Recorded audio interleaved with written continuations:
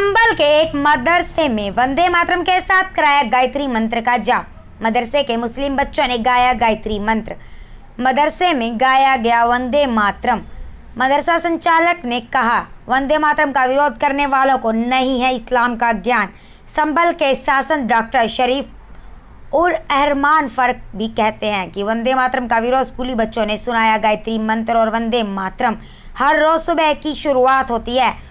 वंदे मातरम और गायत्री मंत्र के साथ थाना हयात नगर क्षेत्र के मऊबुड़ में है मदरसा संचालित। जो है वंदे मातरम और ये गाया छात्रों। क्या था ये पूरा मामला? विश्व हिंदू परिषद जिला संभल ने ये तय किया कि हम 15 जुलाई से 15 अगस्त तक अपने क्षेत्र के अपने जनपद के प्रत्येक स्कूल में जाएँगे।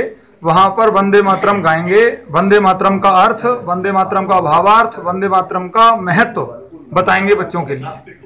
प्रत्येक स्कूल में हम पहुँच रहे हैं। आज के उसी श्रृंखला में मदरसा मौलाना अली जौहर इस विद्यालय में आए, इस मदरसा में आए।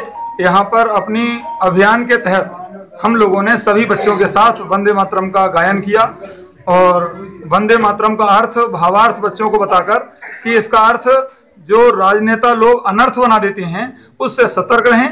वास्तव में वंदे मातरम क्या है, उसके लिए जाने जाएँ। मदरसा भी उससे भिन्न नहीं है। इस हमारी योजना के तहत आज विश्व हिंदू परिषद बजरंग दल के लोगों ने इस मदरसा में आकर राष्ट्रीय गीत बच्चों के साथ मिल बैठ कर गाया। लेटेस्ट न्यूज़ देखने के लिए प्राइम ब्रेकिंग न्यूज़ चैनल को सब्सक्राइब करना न भूले और साथ ही डेली अपडेट पाने के लिए बेलाइकन को प्रेस करें।